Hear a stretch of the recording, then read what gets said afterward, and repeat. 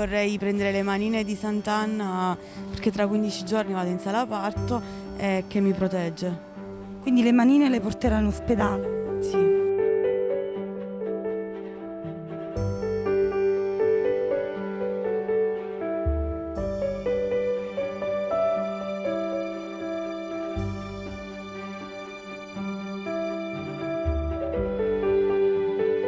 Venerata come santa ed invocata come protettrice delle madri e delle partorienti che si affidano a lei con grande fede e devozione.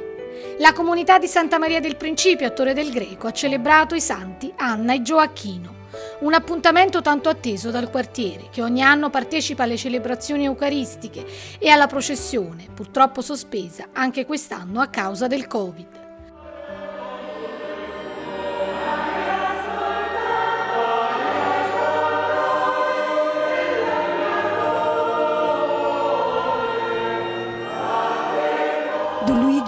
Maiulo, parroco di Santa Maria del Principio.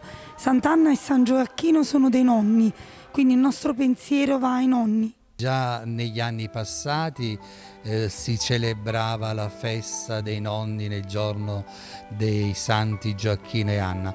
Adesso è ufficialmente che Papa Francesco ha voluto che la domenica prima della festa dei santi Gioacchino e Anna si celebrasse la festa dei nonni e degli anziani. Gioacchino e Anna sono nonni perché eh, nella tarda età hanno avuto il dono della maternità e della paternità e hanno vissuto anche la gioia dell'essere nonni con la nascita eh, di Gesù. Come vive la comunità la festività di Sant'Anna e San Gioacchino? La comunità è sempre in festa con Sant'Anna e San Gioacchino perché viviamo una volta all'anno, ma tutti i giorni perché vengono tante donne in attesa per ringraziare Sant'Anna e tante donne che chiedono a Sant'Anna il dono della maternità. Anche quest'anno non c'è stata la classica processione, ma niente è cambiato nell'animo dei credenti e non c'è stata perché ci è arrivato proprio ultimamente un decreto della Regione Campania che dovevamo sempre mantenere tutti i regolamenti riguardo a Covid, ma eh, niente è cambiato perché noi celebriamo la festa liturgicamente. Nelle parole di Don Luigi Maiulo il senso profondo della festività religiosa. In questo tempo di pandemia, la Chiesa deve essere luce per il mondo attraverso la santità di uomini e donne che, fidandosi totalmente di Dio, si sono lasciati abitare dalla sua presenza santificante. Presente alle celebrazioni anche il sindaco Giovanni Palomba. Il Covid non ha fermato il popolo torrese accanto a Sant'Anna e San Gioacchino che sono dei nonni sì, il Covid non ha fermato quella che è la tradizione di Sant'Anna e San Giacchino, Sant'Anna che è la protettrice delle partorienti, c'è un via vai di, di partorienti, di fedeli e questo è un momento per eh, tenerci uniti in un momento così difficile.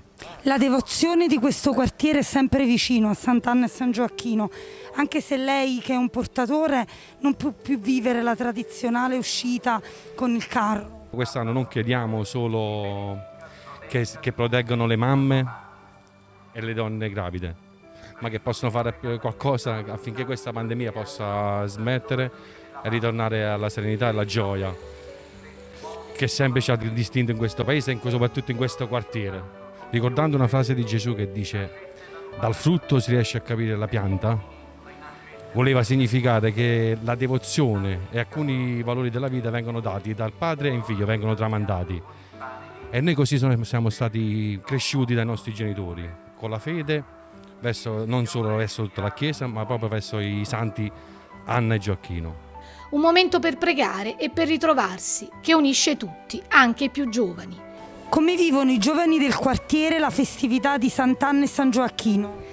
Con una grande importanza perché Sant'Anna e San Giacchino rappresentano i nonni del nostro quartiere e sono importanti appunto proprio perché eh, sono un'eredità riportandoci anche al discorso di Don Gaetano, al nostro quartiere e alla nostra fede.